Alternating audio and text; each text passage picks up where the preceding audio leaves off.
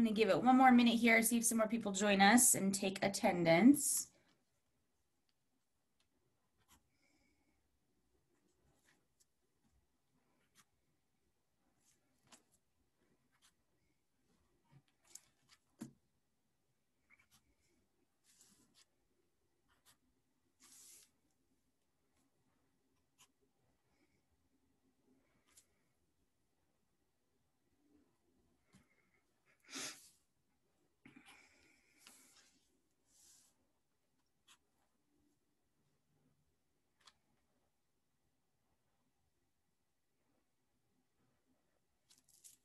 Hmm. There it is. Okay. All right, let's get into it. Good morning, everybody. Happy Monday. I hope you guys had a nice weekend. Um, for some folks, it might have been a celebratory weekend. For others, it might have been a, more of a sad weekend, depending on which side of the election line you fall. But for anyone, um, it was a good day for democracy, and we had more people turn out for votes than ever have before, which is pretty cool. So uh, those of you who participated in the process, um, thank you for being a good patriot and a good American and, and letting your voice be heard. Um, so today we're going to talk a little bit about scars and tattoos to start, and then we'll work on a the quiz for chapters one through three together. You can do it alone if you're watching this later, but um, I want you to be able to talk out ideas and, and clarify confusions because this book can be quite confusing at times. And then depending on time, we'll have a little bit of, of a conversation at the end to try to put some of these pieces together and clarify confusions. So to start today, I want to talk about scars and tattoos, right? If you did your work from last class, you um, read about the slave trade in the article and you saw some images of um, what it looked like when a slave had been beaten, particularly with you know trees and, and sticks and reeds and things like that. Um, and they tend to form these big scars. Sethe's got a giant scar on her back that looks like a choke cherry tree. Um, and so I think it's important to recognize that scars are really significant in our lives and in our understanding of our experience. And they're very closely aligned to tattoos. So to start today, you're going to type in the chat your response to any one of these questions. If you want to answer all three, I'd love that. Um, but first of all, why are scars and tattoos significant? Why are they important to people? Why do they matter? What do these two things have in common? Or maybe what do they don't have in common? And then lastly do you have a specific scar or tattoo that is most meaningful for you? And you might have a lot of scars. You might have a lot of tattoos. Um, so try to zone in on a specific one that is particularly impactful. So for example i had a friend growing up. Her name was megan. And when she was a baby she had a lot of heart problems. And so they had to put a what's called a shunt in her chest in her heart cavity when she was a baby. And she has this giant scar on her chest and she would always like be proud of it like this was a proud scar because that scar you know essentially saved her life. Um, so if you have a specific scar or tattoo that's meaningful to you you can share that and what it's about. Um, but i would not i want everybody to share in the chat or to speak up um, your thoughts to one of these questions.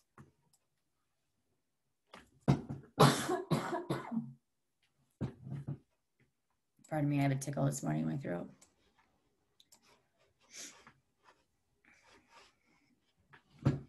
type in the chat, speak.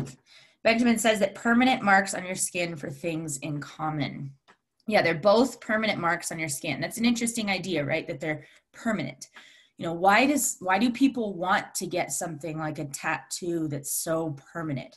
And what makes the permanence of a scar hard to deal with or maybe easier? You know, what makes that experience particular because it's so permanent?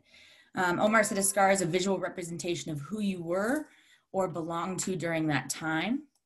Absolutely. And, and then I get, I think tattoos can be the same, Omar, right? And that's why pe- people get them, is because you might not have a scar from a moment that mattered to you, but you essentially create one so that you remember that moment and what it taught you.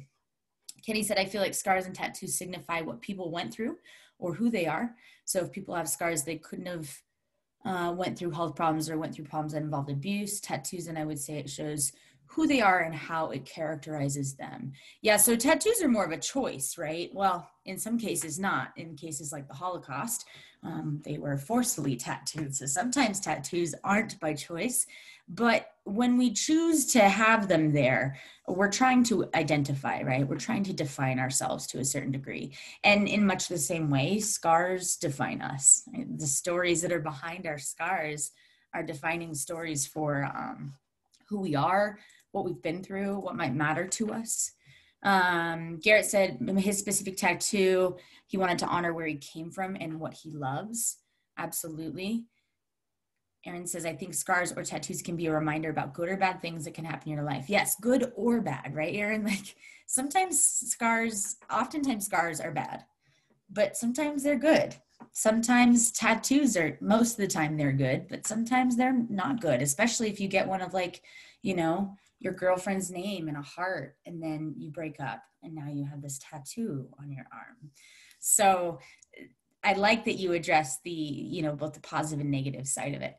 Omar said scars hold a story to them that could have made you a better person while tattoo said something about you and what you want to show people.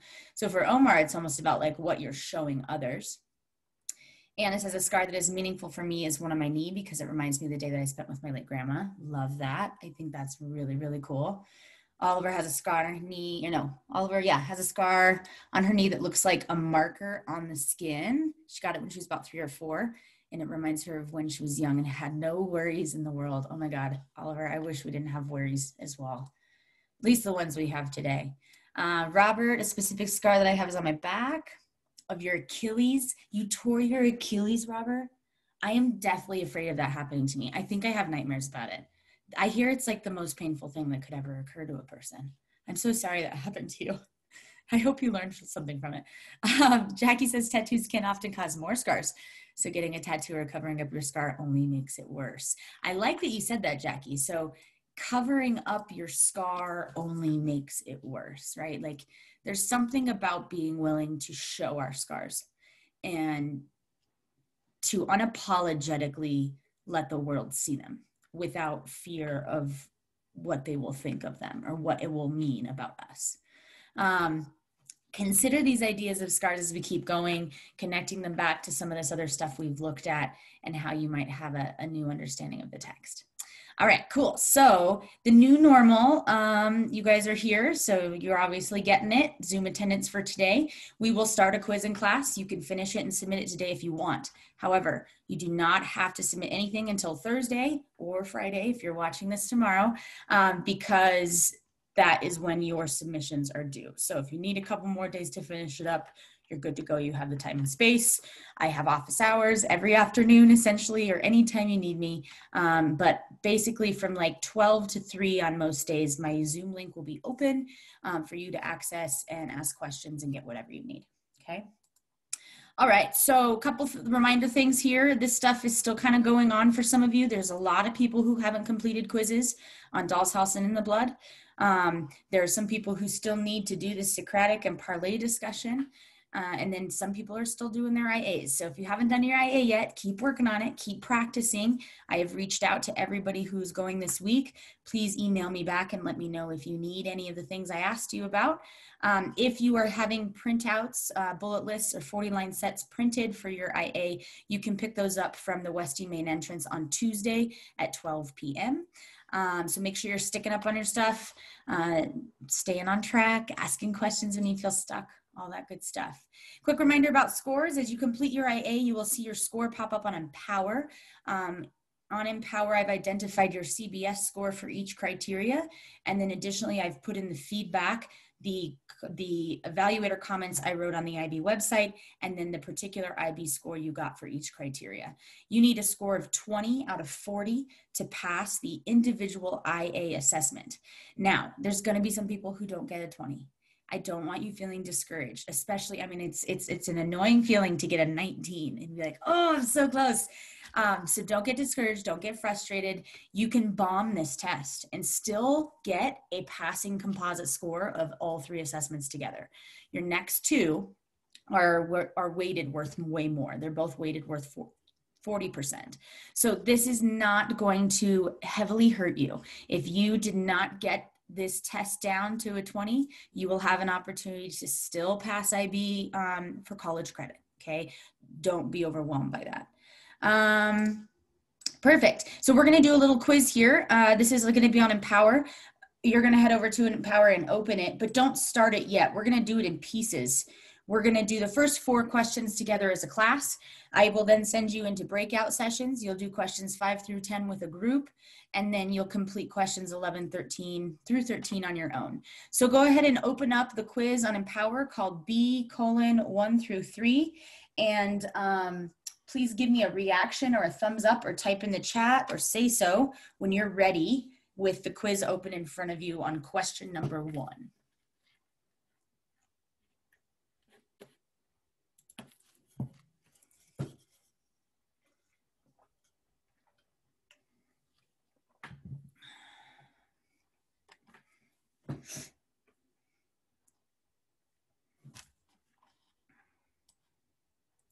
Oh, thank you, Anna. I was waiting to unlock it per class.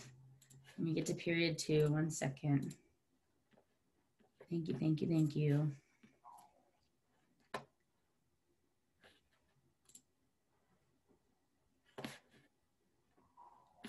No.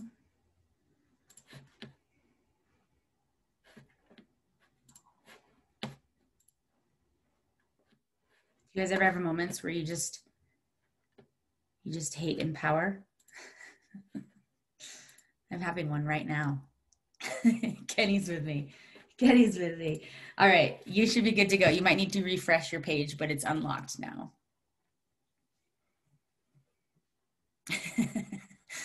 Agreed, Benjamin. All right, so let me know when you've got it open and you're ready to roll with a reaction or a thumbs up or something in the chat or just holler out.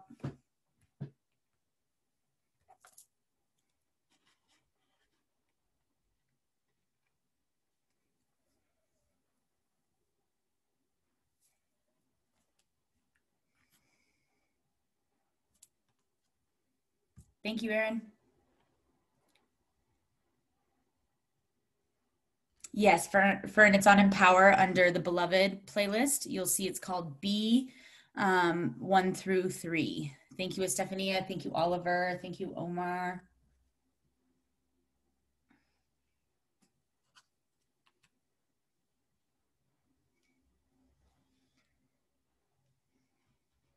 Thank you, Omar. Thank you, Oliver. Thanks, Robert.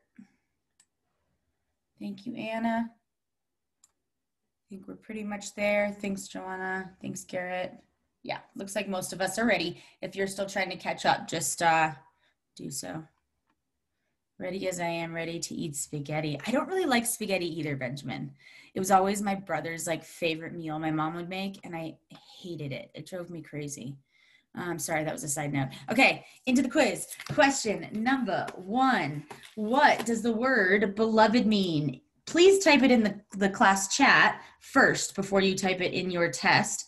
Uh, what does the word beloved mean in your own words? Try to come up with a definition that isn't necessarily the direct one we talked about in class, but something in your own words. Nice. Benjamin, yes. Yes, Kenny, correct. Yes, Estefania. Feel free to talk too. You don't have to just write in the chat. Yes, Aaron.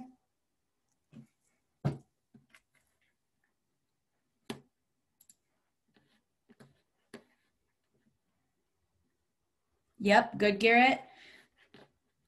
So part of the trick here is like, right, finding those other words you would use to describe the same thing. Cool. Awesome. Looks good. Add it to your Empower quiz if you haven't already. And go ahead and move on to question two. Okay, speaking of the word beloved, um, Sethe only gets beloved engraved on the tombstone instead of dearly beloved, which is what she really wanted. Why didn't she get the word dearly engraved too? What happened there? Why didn't she get the word dearly engraved too? Please type in the chat your answer, or you can go ahead and just speak about it.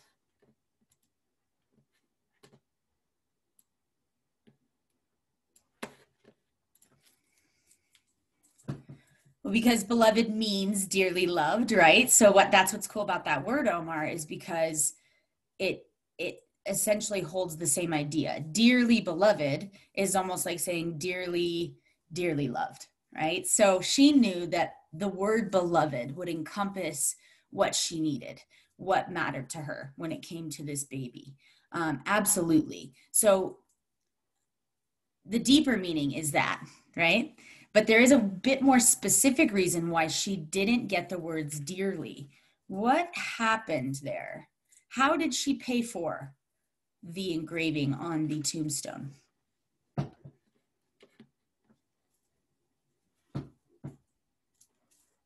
How did she pay for the engraving on the tombstone?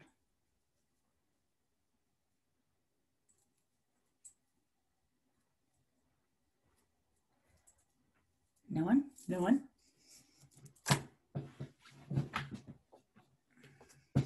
Yes, Jackie, she gave up her body. Yes, Anna, she said if the man could do it in 10 minutes, it was free, right? So she had no money. Um, you know, she was a, a recently freed slave.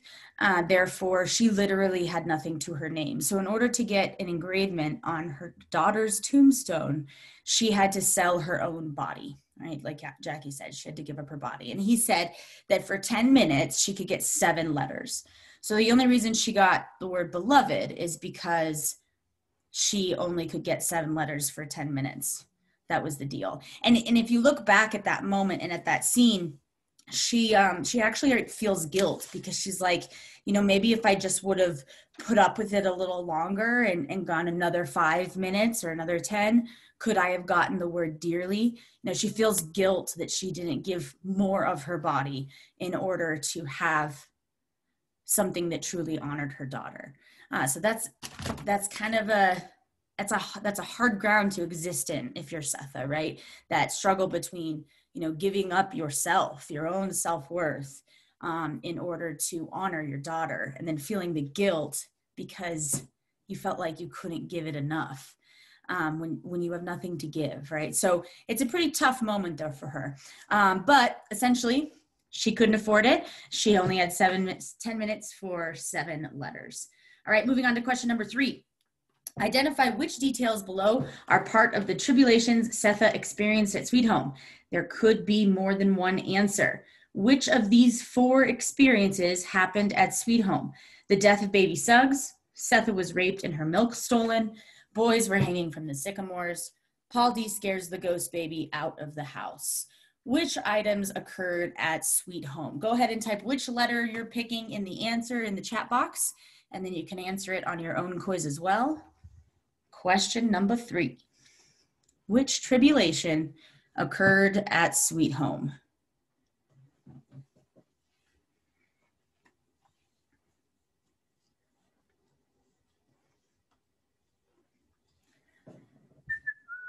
Once you have an answer typed in the chat, keep in mind there might be more than one correct answer.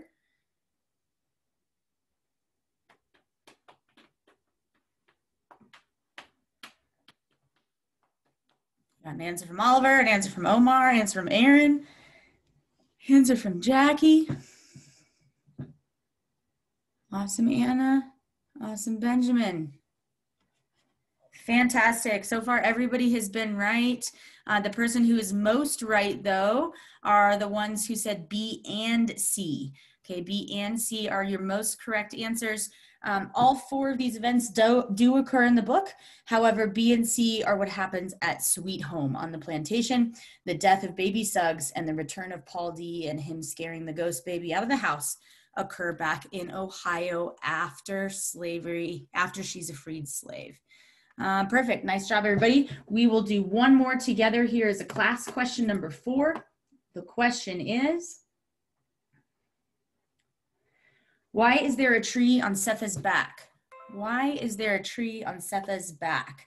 So go ahead and type your answer into your Empower quiz. And I would like maybe somebody to share out verbally their thoughts on this particular question. Why is there a tree on Sethe's back?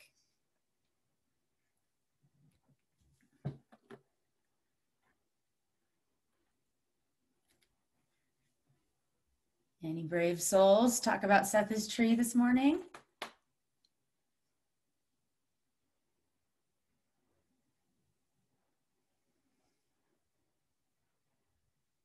Okay, you can type in the chat.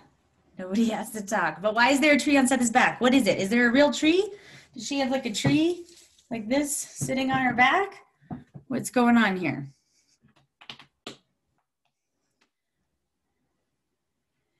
Benjamin, wasn't it due to the teacher using her like an animal? Yeah, absolutely. It was. Yes, Garrett, it's a bunch of scars. It is a scar, Kenny, and it's like branches, right? Like Robert's saying. So um, I actually have one on my back. I should show you. It probably no, looks so. It's it's a bunch of I don't know if you've ever heard of the term keloid, um, but a keloid is is what happens when you scar. I tend to get them actually. I was hoping I could find one for you. But if you scar and the skin sort of like um, puffs up a little bit, um, and there's a little bit of um, like inflamed skin that creates this sort of look. So that is like all over her back, and that happens because they would beat the slaves with sticks and reeds and they call them even um, switches. And so i mean this is a soft branch here but imagine like if this was a big old stick branch from a tree a big branch they would use these to do the lashings and the whippings right? And so uh, oftentimes what they would use were rough, hard, pokey, spiky surfaces that would break the skin really rough because they would also do it repetitively. So it would increasingly break more wounded skin open and it would create these, these crazy looking structures of scars. All right, now it's, who tells her that it looks like a tree? Does anybody remember? That wasn't her idea. She takes it on, is like, I got a tree on my back, but she wasn't the first one to think of that. Who tells her that she has a tree on her back? She, yes, Paul D does um, mention the tree, but Robert, that's after she says, I have a tree on my back. And then once they have the romantic moment, Paul D's thinking about it. He's like, that's no tree, right? So it probably doesn't actually look like a tree necessarily, um, but someone referenced it to look like a tree. And yes, Oliver, you're right. It's the it's the white girl who helps her when she is escaping Sweet Home, right? And she's pregnant and she is need of help. And this white girl comes out of the bushes and offers up compassion and care for Sethe, which is something that most white people have never ever shown her. Um, she rubs and washes her feet. She takes care of her. She helps her deliver the baby eventually. And when she sees Sethe's back, she says, Oh, you got a choke cherry tree on your back. And so I think in this moment, Sethe was able to see her own scars, her own pain, her own trauma as something maybe a bit more beautiful than that. I don't know if she's fully owned it, but um, you know, she loved the idea of, of that being described as a choke cherry tree. So we'll look at that symbolism in the future here, particularly with choke cherry trees and what that might represent in Sethe's world. Um, so what's gonna happen now is you're gonna move into breakout rooms. I will put you in there for 10 minutes when you get in there, you have two tasks. The first one is you're going to do a round robin check in. So each person in the group will identify something that they do understand about the text. This could be any detail, any big idea, any character or setting or plot event. What is something you do understand? And then follow that up with something that you don't understand. They could have connection, they could have to do with each other, or be completely separate ideas. Um, and then as a group, try to make sense of their confusion. Um, see if you can clarify it or um, answer the question that is there. You'll do that for each person, so you'll rotate around until everybody's shared. And then, as a group, you will cooperatively complete questions five through 10 of the Empower quiz. Um, you can come up with answers together, obviously, but make sure you're writing your answer in your own words. You may use your book during this time, but keep in mind you only have 10 minutes total here, so you don't want to spend too much time digging in the book. Trust your gut, go with answers because you know them to be true. And then when we come back together, we will converse and share out some of our confusions and comprehensions. Um, the last three questions of the quiz you will complete on your own once we finish up in class here today. All right. Do we have any questions about how we're going to move forward? Give me a thumbs up or I'm good or say, yo, yo, I'm set, something, so I know that everybody's solid.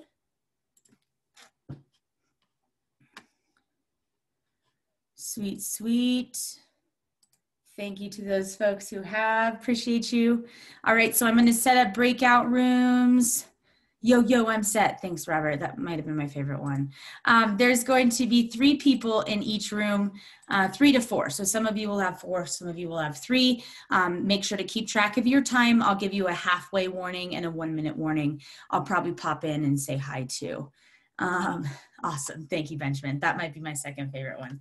Okay, here we go. I'm going to open the rooms. Please join the room when the little box pops up on your screen.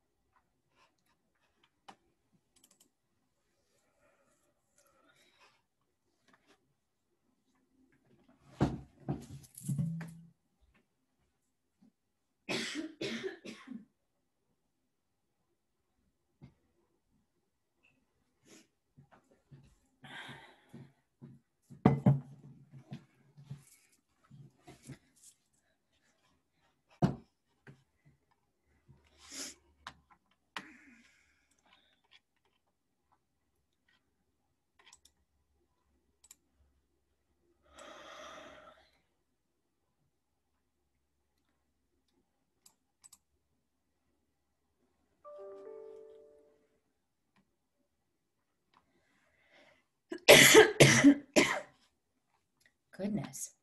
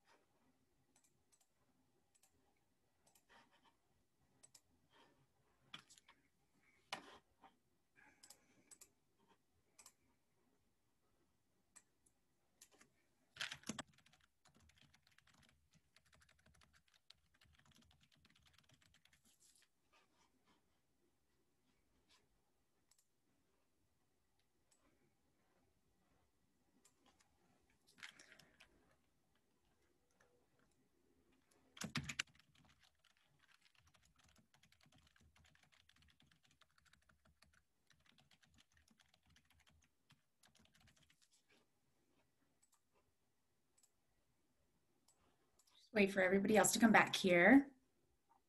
Got about 10 more people, I think.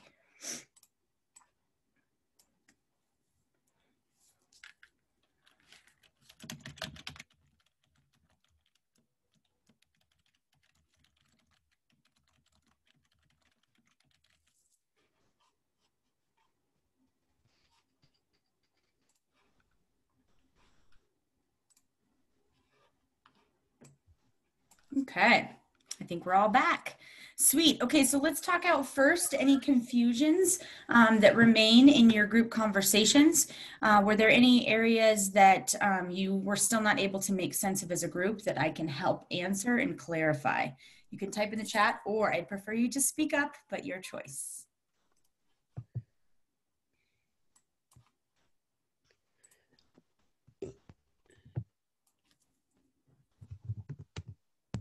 Miss, for number five, do you want us to like just name a behavior or do we have to like pull it from the book? Um, you can just name a behavior, but the easy way maybe would be to pull it from the book. Like what's something that the house is doing that's spiteful. Okay. Uh, but it could just be anything that's spiteful. That question is more just testing your knowledge of the word than necessarily of the Mhm. text. Okay, just making sure. Yep. I don't know specifically like what you meant. Yeah, no, great question. Cool. Any other quiz questions or questions about the text? Are we clear on who's who, on which kids are whose kids, how everyone is connected?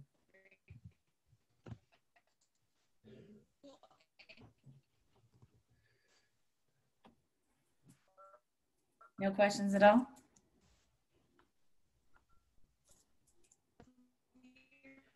Okay, the baby Suggs question was clear for you guys? I think it's question number six.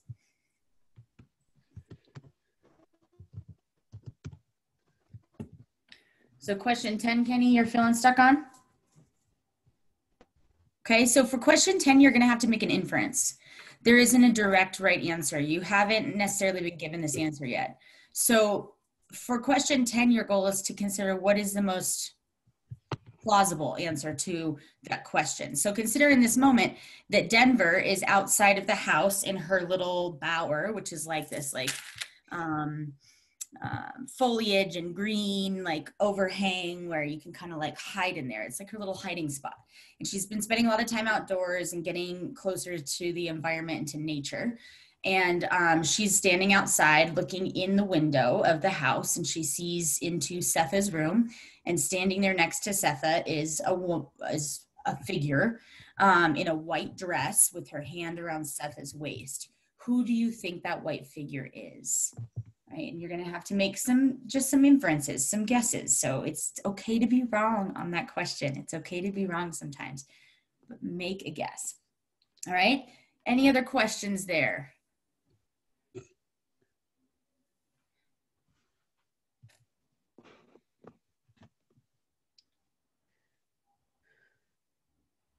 Okay.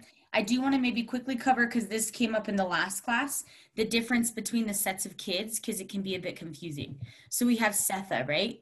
She was married to Halle. Um, they had kids together. They had Denver, Howard, Buglar, and then Beloved. Okay. And then there's other kids that are mentioned and talked about. And these are baby Suggs kids. Baby Sug is Halle's mom. So baby Sug is Sethe's mother in law. Okay, so baby Suggs had six kids of her own, one of which is Halle, who is the husband and father of Sethe's children. Okay, um, the other kids that she had, and this was in your question, so I'll just give it up. Um, they all ended up being traded or sold at some point in their young life. So the only child that baby Suggs was able to keep and have a relationship with throughout life was Halle. The rest of her kids were taken from her and sold off or traded off to other farms and, and other owners.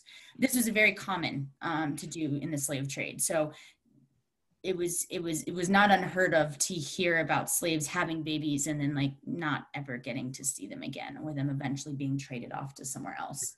Um, question seven, what has gone awry at one, two, four? So Stephanie, you've got to first know what the word awry means, and you've got to know what one, two, four is. Anything that has gone awry at one, two, four could be a plausible answer for question number seven. I'm not going to give you any more than that because that's what I'm testing is your knowledge of the word awry and your knowledge of what one, two, four references within the book. All right, we've only got about three, is it three minutes left? What time is this class done? Let's see here. Yeah, we've got three minutes left. Are there any remaining questions, concerns, clarifications I can make about the quiz or about the book? Mm.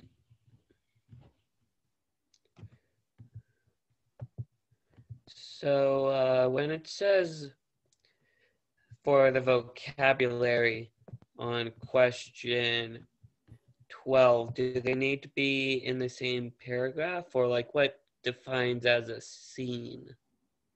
So you're not looking for the words in the text. You're going to pick a moment in this in the text and discuss its significance. And in your response which might be a paragraph might be longer than that that's up to you.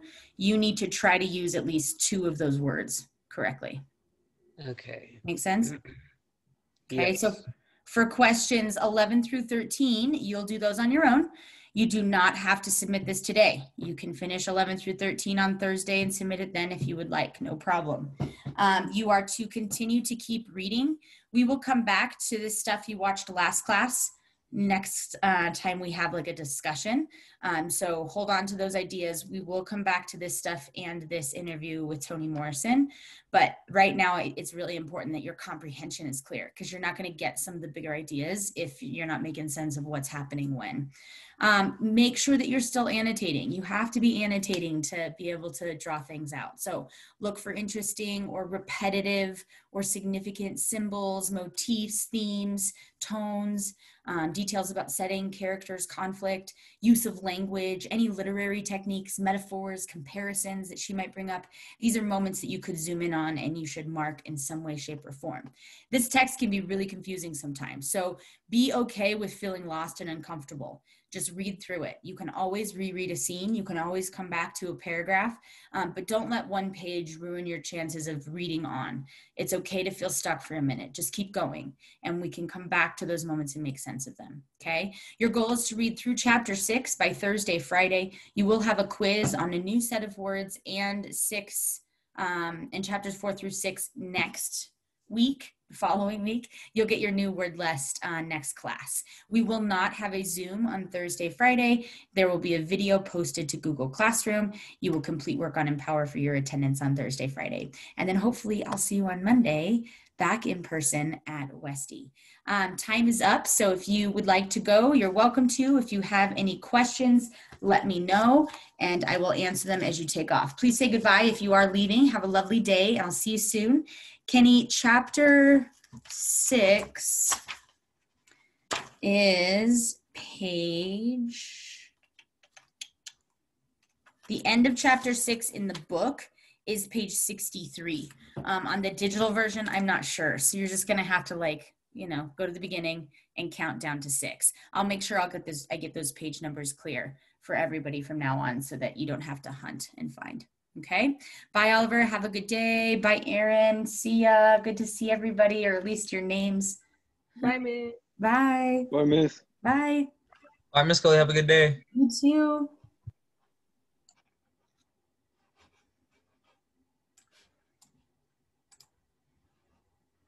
You good, Jackie? You good, Kenny? Miss Kelly, I can't find my score on my IA and Empower. Like, where is it at? Um, yours might not be in yet. Let me check, Jackie. Oh. Yeah, there's like Oh, six. same question. I still need to do. Let me see. I'm just trying to catch up. Garrett, I'll put yours in today. Yours isn't in yet. And then Jackie, I'll put yours cool. in today. Yours isn't Oh, in okay. yet either. Thank you. Kenny, is that your question? Uh, nah. Um, nah, I don't really have a question. I was thinking like what page it was. That's it. Okay. Yeah, so you're past page 64? Yeah. Cool. Yeah, and you can just keep reading the book. If you're enjoying it, don't feel like you have to slow down. Okay.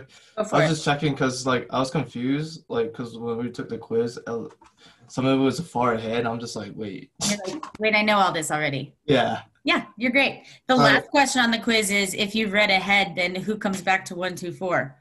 And you know Mm, that answer. okay. Yeah, you're good. right. Thank you. Yeah, no problem. Have a good one. Miss Kelly.